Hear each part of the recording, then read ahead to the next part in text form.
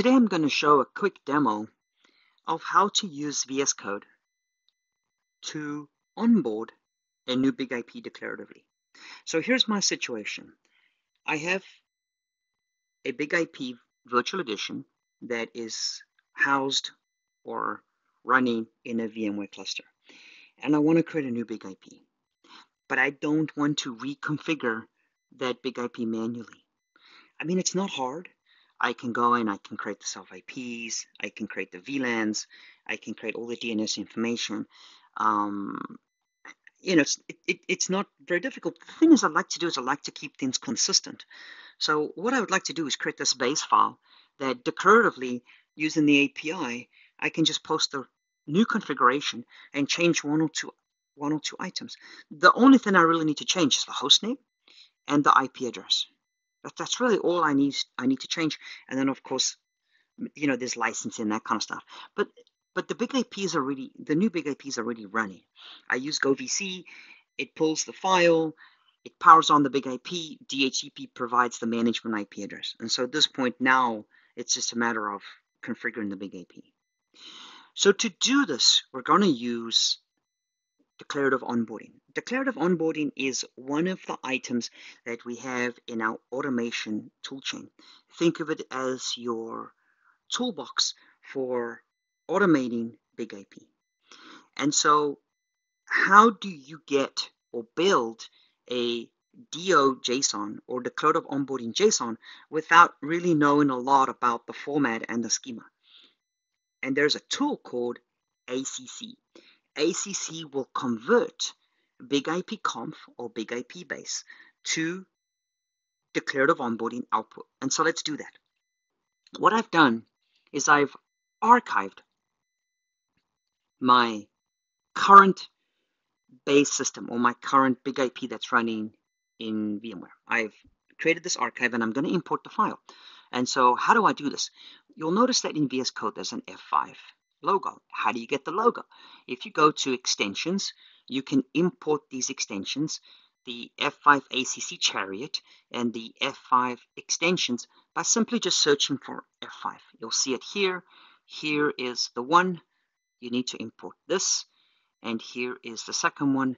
You need to import the F5 ACC Chariot. ACC Chariot does the conversion of Big IP Conf the extension is what allows you to import the configuration and then post or update or manage any of these automation toolchains as well as many other features as well. So I have imported my tool and that gives me this F5 logo. What I'm going to do right here is I'm going to import the configuration. This is really cool. So right here, I'm going to go to my desktop and I'm going to look for my convert.ucs file. I'm going to open this. Let's close this out. And as you can see, I've already imported it. It's east.f5demo.com. It tells me the, the version. I can look at the sources here. I can see the big IP conf, which I can click here, which gives me the big IP configuration. I can see the big IP base, which gives me the big IP base configuration.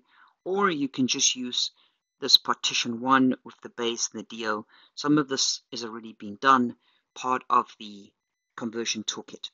So I'm going to just keep this pretty easy. I'm going to just take this base file. And what I want to do on this base file here, what I'm going to do with this base file is I, I have the configuration right here. So the first thing I want to do is select the entire config. This is the entire configuration, this big IP base. And I'm going to right click it and I'm going to convert to DO with ACC. And as you can see, it ran through the conversion file. And now I have a declarative onboarding JSON file, as you can see right here. Now, this is one file that I've used, but you can also go down if you want to use DO right here. This is another file. It just depends upon kind of what you kind of what you need. It's pretty much the same, but this is a little bit more specific to DO uh, instead of using this one. So if you want to close this, I can just unsave. I can go down to this DO file that was created as part of the VS Code extension. Thank you very much. And I can convert to DO, and now I have a really cool format. And I can go ahead and close this out. Don't save it. So now I have this common partition with all the objects. And so I can go ahead and take a look at some of these objects. I'm just going to go and minimize them. And these are some of my items that I can actually use to configure back. And there are more and more, and we are adding to this daily. This is not everything. We're adding to it. It's an ongoing project. And it's a pretty new project. Um, so if, if something does not work the way it should do, just do a little bit of monitoring, send us information. You can use the GitHub link and we will add it. So these are the objects right here, object classes. And so a couple of things that I, I don't need, a couple of things that I do need. So now that you have JSON, it allows you to build this template from here. ACC is not a migration tool. ACC does require a little bit of work because at this because ACC doesn't doesn't doesn't know what your input your input is. It's what you input is what you get out. So at this point now, since I'm going from east, I want to create a new system. And so the first thing I want to do is potentially go look at some of these system profiles. So the first thing I want to do is change east to, let's say, let's call it DO, or you can call it anything you want. I don't like this. I'm going to remove it. Uh, I can keep this right here, management IP, and I don't want to management IP because I've configured that through DHCP. I'm not going to worry about that. I'll let the system have its own. Provisioning. Mm, I'm not using these two, AFM, ASM on my new one. So I can go ahead and remove that. The DNS, yes, I want to keep this F5 demo. Um, this AWS DNS, I don't need. I can remove that. Internal, external. So let's take a look at this. VLAN 100, yes, for external, that's correct. That's the correct tagging. I don't have to change any of this. I notice that this is not correct. So remember I told you this is a very early program. It's been around for, you know, 15, 16 releases, but we've been solely focused on AS3. That's L4 through L7. DO is new. So there's a couple of things here that are not rendered correctly. And again, this is very easily fixed.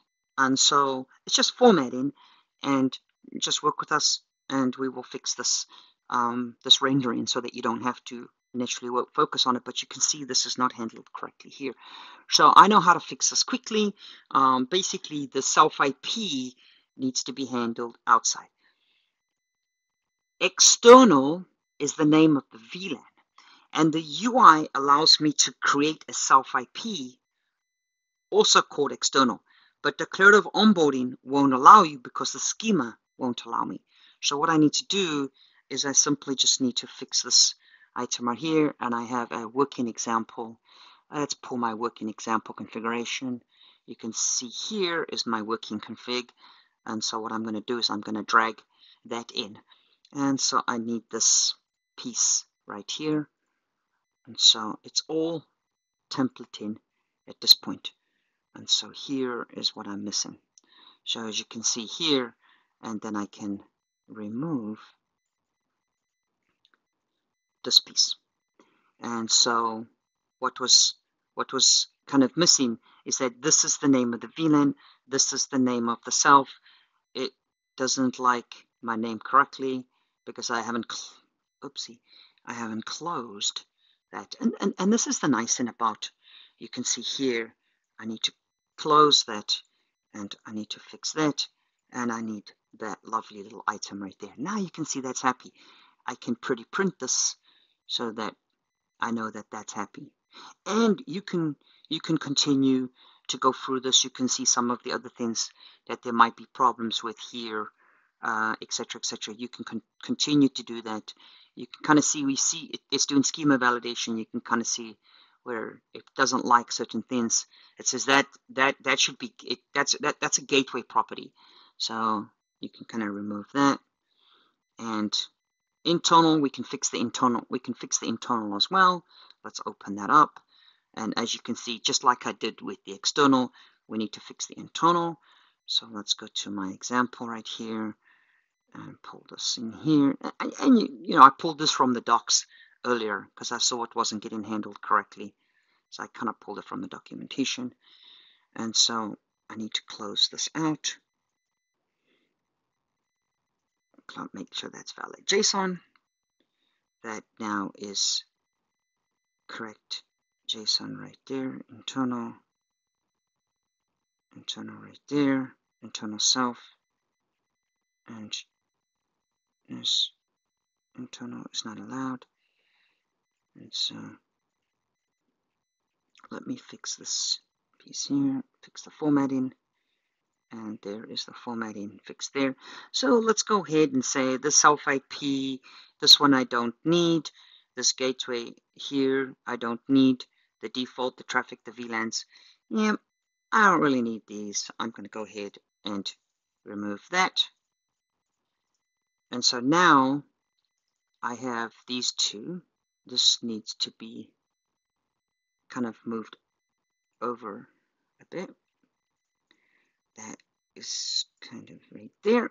I see I fixed that. So there's the internal. There's that internal right there. And I need to close that out. What I'm going to do here is I'm going to format this correctly. So now my formatting looks good. And as you can see, I'm missing a close. So here I have a really nice declaration that is, that makes sense. So provisioning, LTM, DNS, there's my DNS. There is my DNS name. I have my external, my internal, and open close. That all looks good. This is all fixed. This is all fixed nicely. There's one, two, there's one, one. And so here's what I can actually do now. Once I have this template, and once I have this template and this format, what I can do now is I can right click. I can post. First thing I need to do is select the device. So this is the new device. So let's go to F5 extension. F5 hosts, I want to connect to the new device. Okay, I've connected to the new device.